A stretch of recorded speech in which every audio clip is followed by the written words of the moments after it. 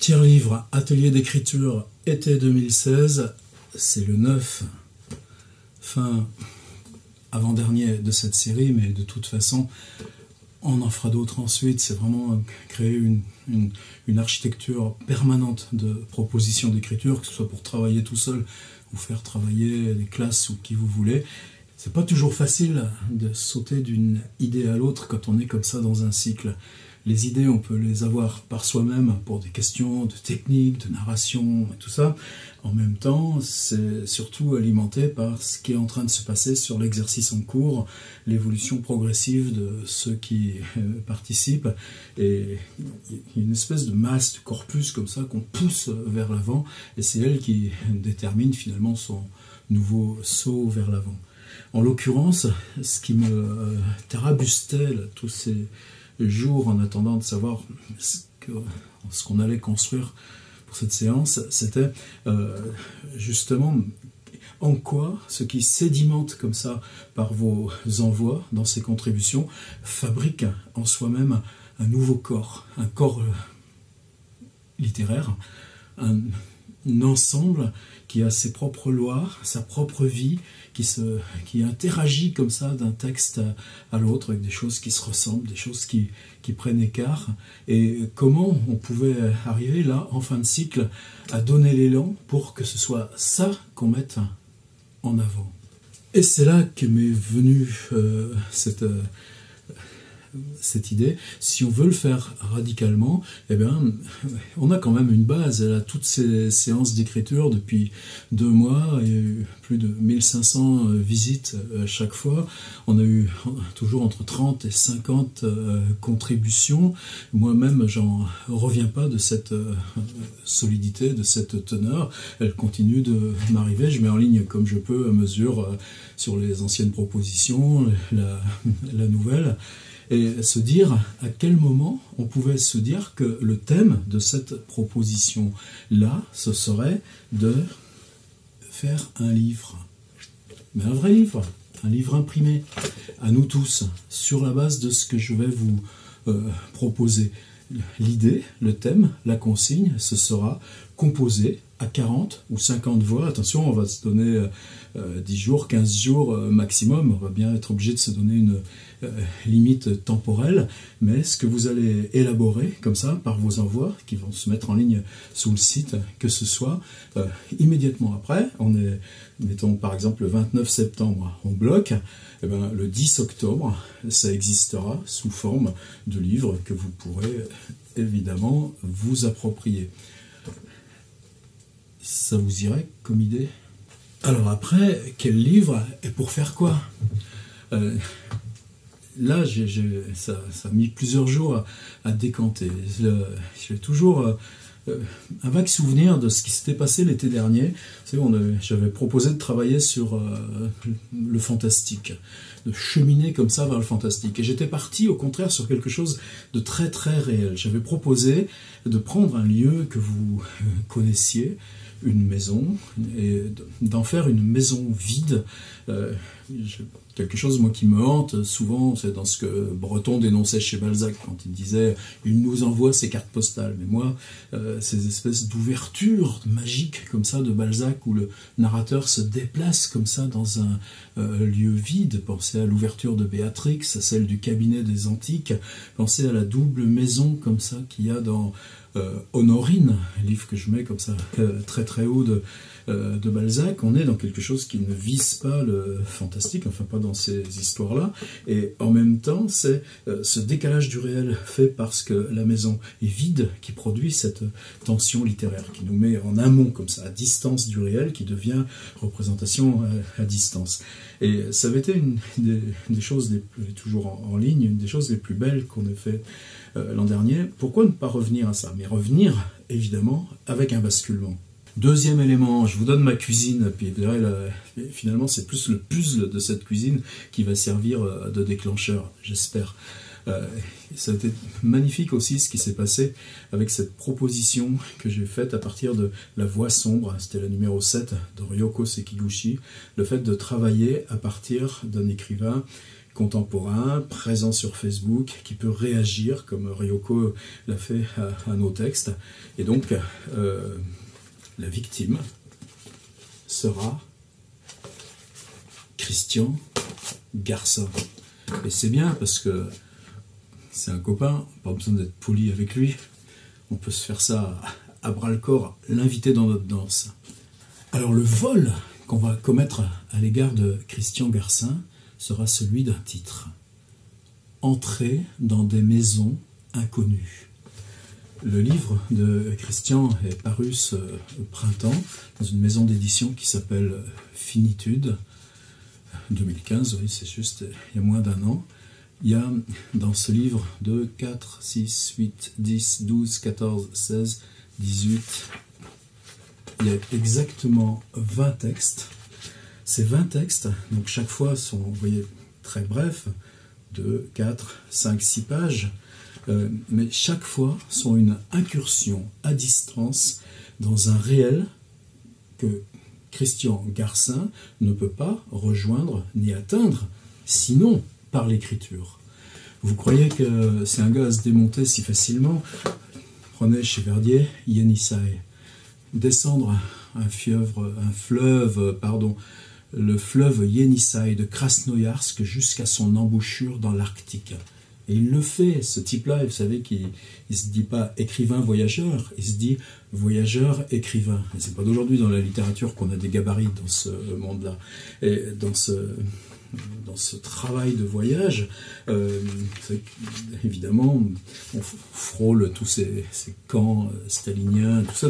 le, livre de Christian rejoint toute une actualité, il passe par comme ça toutes ces descriptions. On vient de paraître chez un culte, par exemple, vous savez, le, euh, Ian Sinclair, qui avait fait London Orbital, là, il y a tout un autre voyage comme ça sur une ligne de métro euh, le long de Londres, le réel propose lui-même comme ça ces espèces de, caves du, euh, du fantastique, du conte, du récit, et c'est ce, euh, cette espèce de mouvement comme ça par quoi on sépare ce récit du réel qui va l'aspirer et nous le rendre comme ça signifiant, tremblant, qui va nous le rendre poésie. Qu'est-ce qui se passe dans Christian Garcin, Entrer dans des maisons inconnues? C'est quoi le titre des chapitres?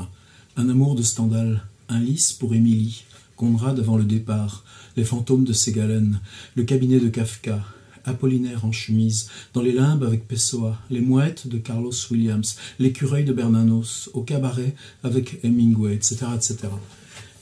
Garcin entre dans sa bibliothèque, mais il y entre par une drôle de façon il fait un saut temporel qui l'amène, par exemple, donc euh, croiser Franz Kafka et savoir, le, le narrateur et celui qui l'accompagne, euh, qu'est-ce qui fait que Kafka leur semble avoir euh, maigri depuis la dernière fois et en même temps euh, qu'on n'ose pas lui demander, qu'on n'ose pas lui dire euh, comme ça. Et ça va être juste cette rencontre dans la rue avec Kafka qui va rire en leur parlant de sa chambre et de l'être au père qu'il vient euh, d'écrire toute une nuit. Je vais vous lire juste un tout petit bout de d'Apollinaire. Je me suis permis Désolé Christian, mais tant mieux.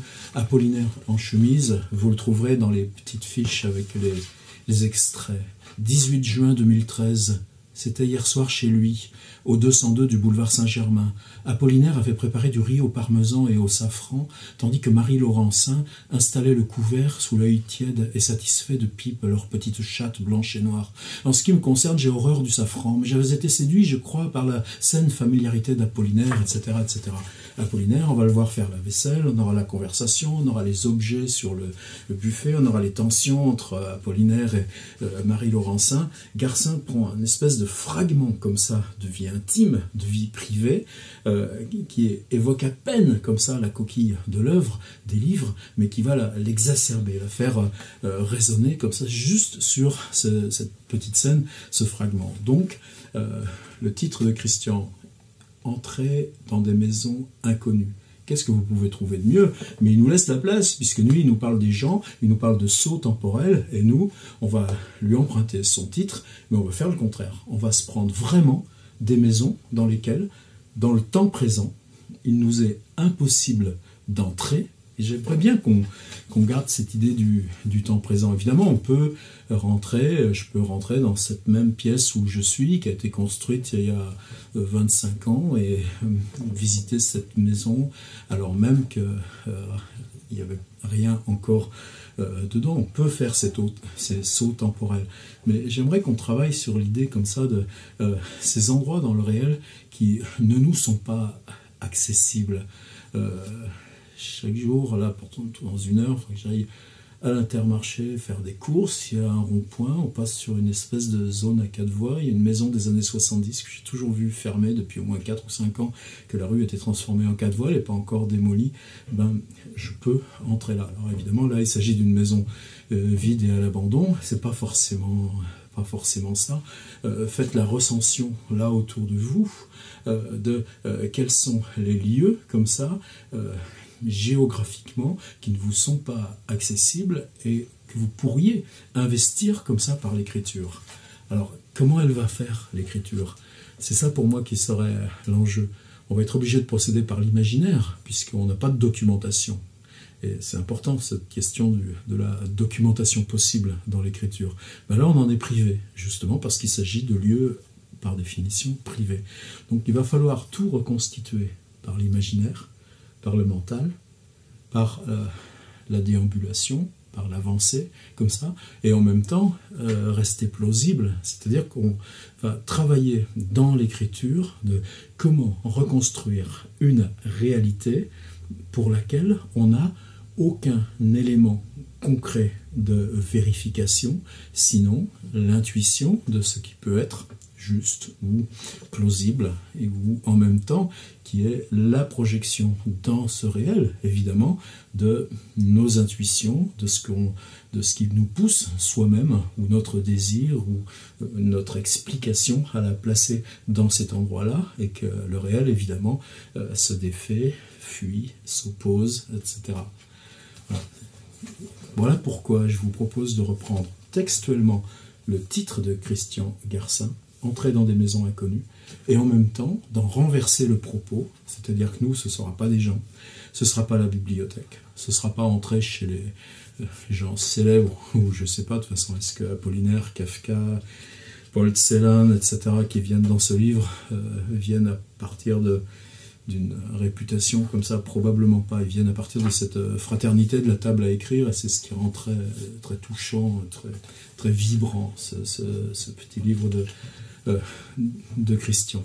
Mais, donc on renverse le propos, temporellement, ça se joue dans le présent, ça se joue uniquement dans la géographie urbaine ou rurale, et ça se joue dans le statut de reconstruction du réel qui va concerner les lieux, les choses, et pas forcément euh, ce que lui construit par la rencontre avec des gens. Alors maintenant les outils avant d'arriver à ce qui sera l'outil principal, le livre sur lequel je gamberge, gambergeais et que euh, à quoi ça me sert moi de, venir euh, faire le clown comme ça, sinon euh, d'avancer dans ma propre recherche concernant atelier d'écriture, proposition d'écriture, accompagnement pour soi travailler l'écriture et une façon de euh, d'approcher les livres qui répondent pour moi ou s'opposent, euh, des fois on me le reproche assez crûment, euh, l'enseignement traditionnel des lettres, qui est de, c'est pour moi cette image que j'utilise souvent, autrefois dans les conservatoires, les gamins faisaient deux ans de solfège, après faisaient deux ans de flûte avec, et après on leur disait, alors tu choisis ton instrument maintenant. Les facs de lettres ont encore beaucoup trop ce réflexe-là, par, une espèce de, de, sanctification mise sur socle comme ça, de l'œuvre et de l'auteur, alors on appelle ça recherche, on appelle ça science et tout ça, ben non, pour moi ce qui détermine c'est la pratique. Sûrement, j'avais déjà lu en anglais, mais euh, en anglais c'était un peu difficile pour pas grand chose, euh, éloge du carburateur. Ben, quelque part de, Crawford, il y a Contact aussi, le deuxième livre, bon, important ce mec-là, il, nous coince. Euh, mais quelque part, ouvrir le carburateur de la littérature, comment ça peut se faire, sinon par la pratique, sinon par l'écriture. Comprendre un livre, c'est avec les mains. Ben, nous, c'est ce qu'on fait ici. Le faire en vidéo, le fait que ce soit accessible comme ça, partout, que ce soit une trace comme ça permanente, on n'est pas en train de perdre du temps, non? Je pense que j'utilise environ une cinquantaine, une soixantaine de propositions d'écriture que je recombine, que je réaménage. On fait des, cycles comme ça où on les revisite autrement. C'est ce qu'on fait nous ici ensemble aussi. Et puis de temps en temps, tous les ans, il s'en ajoute euh, deux ou trois, peut-être un peu plus maintenant que j'ai un vrai labo euh, à cette école de Sergi à laquelle je suis attaché. Euh, Roberto Bolaño, Anvers. Bolaño, ce type a le même âge que moi, il est né en 53. Simplement, il y a longtemps qu'il est mort, le pauvre. Il vient d'arriver en Espagne. On est justement les années où moi aussi je commençais d'écrire en vue de publier, fin, toute fin des années 70. Il est gardien de camping à ce moment-là, travaille de nuit et il écrit le jour avec du café. Et dans, cette, euh, dans, ce, dans, ce truc-là, euh, cette prise d'écriture, qui sera publiée seulement 20 ans plus tard, 93, euh, ça s'appelle Envers. Il y a 40 ou 50 chapitres, 54, 56 chapitres, c'est fini par un post-scriptum. pas dans l'escalier, 24. Nous nous approchons doucement ce qui s'appelle dans sa mémoire passé immédiat, est meublé de matelas à peine effleurés de lumière. Des matelas gris aux rayures rouges et bleus dans quelque chose qui ressemble à un couloir ou une salle d'attente exagérément étroite. De toute façon, la mémoire est arrêtée sur passé immédiat, comme un type sans visage sur la chaise du dentiste. Il y a des maisons et des avenues qui descendent vers la mer, des fenêtres sales, des ombres sur les paliers. Nous entendons quelqu'un qui dit Il y a longtemps ça a été midi. La lumière rebondit contre le centre de passé immédiat, quelque chose qui n'est pas un écran et qui n'essaye pas de suggérer des images. La mémoire dicte avec lenteur des phrases sans son. Nous supposons que tout cela a été fait pour ne pas déconcerter. Une couche de peinture blanche recouvre la pellicule du sol. Fuir ensemble se transforma, il y a longtemps, en vivre ensemble. Et ainsi la fidélité du mouvement resta suspendue l'éclat du passé immédiat. Il y a vraiment des ombres sur les paliers. Il y eut vraiment un petit bossu qui écrivit des poèmes heureux. Quelqu'un applaudit. Je sus que c'était eux quand j'entendis leurs pas dans l'escalier. Je fermai les yeux. L'image du pistolet ne correspondait pas à la réalité. Pistolet. Je ne pris pas la peine d'aller leur ouvrir la porte. Il était deux heures du matin et une blonde qui ressemblait à un homme entra. Ses yeux s'arrêtèrent sur la lune à travers les rideaux. Entre guillemets, un sourire stupide se dessina lentement sur le visage enduit de blanc. Entre guillemets, le pistolet n'était qu'un mot. Entre guillemets, fermez la porte, leur dis-je. Entre guillemets, fêlure n'est pas réel, mais chantage.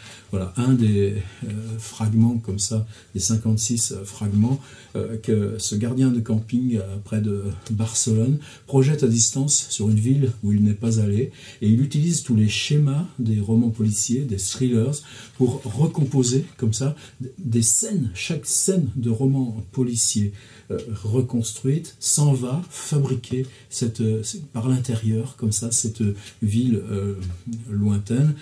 c'est un outil fabuleux pour les ateliers d'écriture. Alors oui, ça, il y avait ça dans ma cuisine, c'est un puzzle, mais pour moi, on ne va pas prendre Boleano en scrutant ce qu'il fabrique, même si je vous incite vivement à lire ce envers, on est vraiment dans ce même fonctionnement euh, mental, mais ce jeu comme ça d'envoyer à distance dans la ville inconnue, on s'en saisit, et puis prenez-la à 2 km, prenez-la à 300 mètres, prenez-la euh, là où vous avez passé l'été, mais en même temps, allez chercher, repenser, tiens, mon copain Berkouniou, euh, la maison rose, un moment de, cette maison où on allait dans l'enfance, on y passe en voiture, on s'arrête devant et on s'aperçoit que c'est d'autres gens depuis 10 ans, 15 ans, des gens qu'on ne connaît pas. Il y a des enfants sur des balançoires, etc. Et c'est parce qu'on est là dans sa voiture à passer très lentement devant cette maison occupée par d'autres gens où on ne connaît plus les objets, choses comme les, rideaux, cuisine et tout ça, que reviennent les souvenirs d'enfance, mais euh, que la tête, elle, s'en va quand même dans cette euh, maison qui est devenue euh, parfaitement étrangère. C'est tout ça, je voudrais qu'on investisse. Maintenant, l'outil principal. Donc, à Garcin, on vole le titre, entrer dans des maisons inconnues, mais malgré le, plaisir que c'est de lire son Kafka, son Apollinaire, son Paul Celan et tout ça, euh, d'entrer dans les cuisines, de faire la cuisine avec eux, euh, ils ne nous donnent pas forcément, ou faire un texte magnifique sur une promenade avec René Char. il ne donne pas les outils qui nous correspondent pour cette proposition. Donc on le dépouille, mais on va les chercher ailleurs. Et on va les chercher où? Le roi Cophétua de Julien Gracq. Vous connaissez ce livre, paru vers 72, La Presqu'île, c'est chez Corti. Et vous savez que La Presqu'île, c'est un récit qui fait environ 120 pages et que Corti l'a complété par ce roi Cophétua. Je crois que moi je l'ai lu en public. Euh, euh, ça dure environ une heure pour euh, le lire, donc c'est facile. 183 à 253, ça fait 50-60 pages. Euh, cette question du format est importante parce que nous, en atelier d'écriture, dans vos contributions, ça peut être une page, deux pages, trois pages, dix lignes, euh, quelquefois plus long, n'est-ce pas, Laurent Schefter?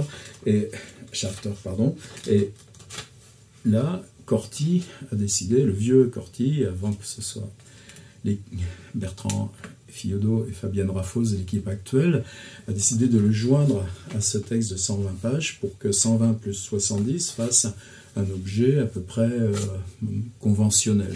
On a les mêmes rassemblés dans le Pléiade tome 2, euh, là on les croise comme des items qui sont eux complètement séparés. Les 120 pages de la presqu'île, les 70 pages du roi Cophétois. Et c'est plus étrange parce que, par exemple, euh, les eaux étroites, on est à peine plus long, vous voyez, on est quand même 73 euh, pages aussi, euh, on est à peine plus long que le roi Cophétois, mais les eaux étroites sont devenues un livre à part entière. Tout ça juste pour le statut de ce texte, parce que pour moi, ce texte est non pas un appendice à la presqu'île, ça n'a rien à voir, mais un texte à part entière. Vous connaissez l'histoire, bon, sinon il y a un extrait, il y a quelques extraits aussi dans mes petites fiches, mais bon, je pense qu'on ne peut pas se dispenser d'un texte essentiel comme ça. On est en 14-18, euh, le narrateur rend visite à, un ami, l'ami n'est pas là, en fait, il, on va recevoir l'annonce, il est mort la guerre.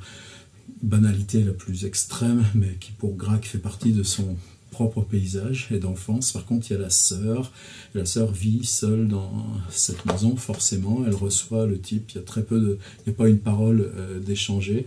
Et toute la tension entre les deux personnages jusqu'au départ euh, du lendemain matin euh, sera portée par la façon dont le narrateur entre dans le lieu, cette maison, d'abord dans la lumière du soir, ensuite dans la nuit venue, avec un séjour, des escaliers, un couloir, une chambre, et c'est tout ça qui va, qui va porter le texte. La pièce où on m'avait introduit devait tenir le rôle à la fois de salon, de fumoir et de salle de musique, ou plutôt de cabinet de travail, car c'était visiblement ici que Noël composait. Toute la partie gauche de la salle était occupée par un piano à queue et par un piano droit. Dans les casiers à musique qui les séparaient étaient rangés des partitions reliées, des rames vierges de papier réglé, mais ce coin le plus intime de la pièce ne respirait pas le désordre chaud du travail journalier. Pendant que j'inclinais du bout des doigts pour lire les titres, les partitions soigneusement classées, que je laissais mon doigt glisser sur le couvercle du piano que ne ternissait aucun grain de poussière, l'image qui s'incrustait dans mon esprit devenait froide et même glaciale. C'était celle de ces demeures musées, ou dans l'angle d'une des pièces que le visiteur traverse, une chaîne tendue et un écriteau. Isolent la table, la chaise, l'encrier, les plumes encore taillées qu'a consacrées autrefois. Une main illustre, et ou non le tremblement de la vie, mais plutôt une rigidité mortuaire saisit ce désordre épousseté, ce côté de la pièce, qu'éclairait seulement un grand feu de bois, était déjà plongé dans une demi-obscurité. Vers l'est, les baies spacieuses, coupées d'une porte-fenêtre, regardaient au-delà de la pelouse du côté de la charmille que j'avais observée du chemin. L'œil glissait de ce côté, etc., etc. Donc vous voyez comment le, narrateur lui-même se met en place dans ce texte. En même temps, euh, contrairement à celui de Balzac, on a quoi? On a une main qui effleure euh, le piano, et il utilise ce même truc pour l'œil qui euh, passe comme ça vers le dehors, et puis on a par exemple ce jeu de mise en, abîme, c'est-à-dire on, contemple l'immobilité de la scène, et puis on installe la même chose dans un musée avec ces chaînes, quand on, ces, petites barrières quand on visite et qu'on n'a pas le droit de passer de l'autre côté, et tout d'un coup, euh, ce musée qui est beaucoup plus abstrait, mais qu'on porte tous en tête, devient comme euh, c'est l'image même présente qui, elle, bascule de l'autre côté de euh, la, barrière. Euh, dans Coffet-toi, il y a d'autres euh, d'autres éléments comme ça, enfin c'est pareil, la chambre, le séjour, etc. Je crois que j'en ai assez dit. de toute façon, il y a des éléments en plus sur la page du site. De la même façon, je vous incite à lire trois livres. Garcin, Entrer dans des maisons inconnues, ce sera le titre. Boliano, c'est comme ça qu'on prononce? Bolagno et euh, le roi Cophetua de Grac. Euh, pas plus que ça, mais réfléchissez que tout ce que vous allez écrire s'insère dans un euh, dialogue qui va devenir multiple, c'est-à-dire s'il y a 40 auteurs dans ce livre, il y aura 40 lieux. Chaque lieu doit pouvoir maintenir dans sa propre écriture le fait que c'est le vôtre, radicalement, mais qu'il est en même temps, euh, qui regarde, qu'il glisse, qu'il s'oppose à 39 autres lieux, et qui vont être décrits avec la même euh, minutie, et que euh, ce qu'il y a de fascinant dans le Anvers, où Bolagno n'a jamais mis les pieds, va devenir pour nous aussi une figure multiple, onirique, et en même temps extrêmement précise, comme justement le roi Cophetua sait nous faire exister comme ça viscéralement devant nous. Donc c'est des questions sur euh, qu'est-ce que je convoque de moi? Qu'est-ce qui, qu'est-ce que, pourquoi je veux investir ce lieu? Qu'est-ce que je choisis dans ce lieu? Qu'est-ce que je joue de moi dans ces éléments que je réinvente? En quoi ces éléments sont aussi des appels pour euh, euh, qui va venir focus sur ma tronche, merci. ces éléments qui le parcours de lecteur à l'intérieur de mon texte qui va rejaillir ensuite sur, sur des autres. Et de mon côté, donc pas plus que ça. Euh, je pense que ce qui m'a beaucoup frappé ces derniers temps, en particulier les deux dernières séances à partir du, dialogue chez Duras et euh, le, travail sur la voix à, partir de, Ryoko Sekiguchi, c'est euh, comment chacun a trouvé son propre rythme, sa propre musique, et que cette musique ne se détermine pas finalement par l'atelier. Je crois que c'est peut-être ça moi j'aurais appris cet été. Mon boulot, quand je suis avec mes étudiants à Sergi, c'est de les entraîner dans des techniques. Et à force de ces techniques, se dégage petit à petit une voix. J'ai l'impression que là, en travaillant nous ensemble, euh, quelque chose bascule différemment. La voix de chacun s'affirme, se construit, et en même temps vient se refléter comme ça dans ces éléments techniques en cherchant ce qui l'emmène euh, en avant. Voilà un petit peu ce que je voulais vous proposer. Nous allons en 15 jours, ensemble, à 40 ou 50, appelle aussi euh, euh, ceux qui sont abonnés à mon site, mais euh, ne participent pas forcément directement à cet atelier, ont participé au précédent, etc. C'est ouvert, sentez-vous tranquille, on écrit ensemble, on est dans un espace de revue. De la même façon que Christian Garcin nous propose 24 fragments de livres, 24 histoires clauses séparées pour fabriquer son livre et que Bolagno, pour son envers, nous en propose 56.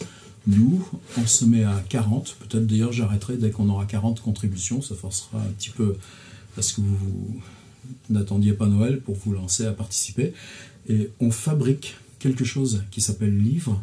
Et l'interrogation, elle est tout autant sur ce que vous allez écrire vous que sur le fait que ce qu'on fabrique là va fabriquer par le livre un ensemble. Ça s'appelle roman Je sais pas, mais en tout cas, là moi je suis dans du neuf. Ne pas être dans une compilation de textes d'ateliers d'écriture, mais faites qu'on se dise, en 15 jours, on fabrique un livre.